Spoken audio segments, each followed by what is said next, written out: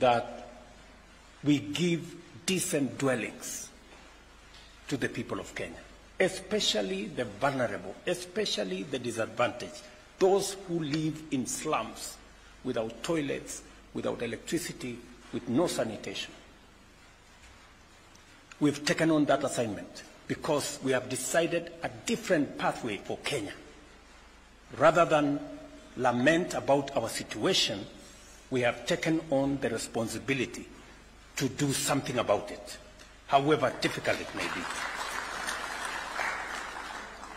We have taken on the responsibility of universal health coverage.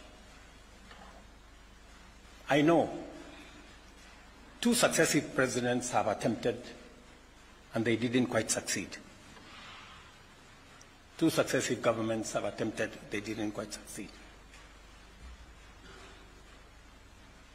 We have decided that we are taking on this challenge because there are too many Kenyans that die out of illnesses that we can treat.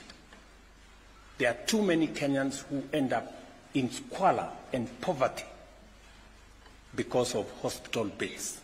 We have decided that this time round we must get it right and make it possible for every citizen, irrespective of their financial status, that they can get the highest level of treatment in Kenya. Difficult, yes.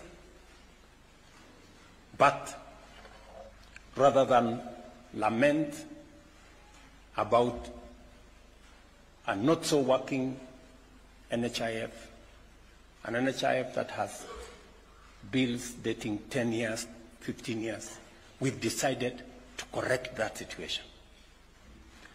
And I promise you,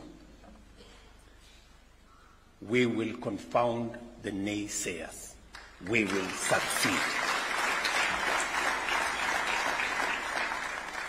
This country will not fail. This great nation that God has given us will succeed. The enemies of Kenya will be put to shame because we are going to succeed and we are going to take this country forward.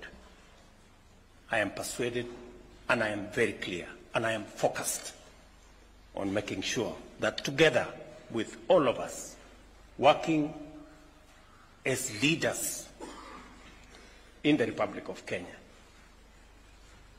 and all of us understand the more authority you have, the greater the responsibility that rests on your shoulders. And the greater the responsibility you have on your shoulders, the higher the accountability that you are judged by. So all of us must work together towards making Kenya succeed.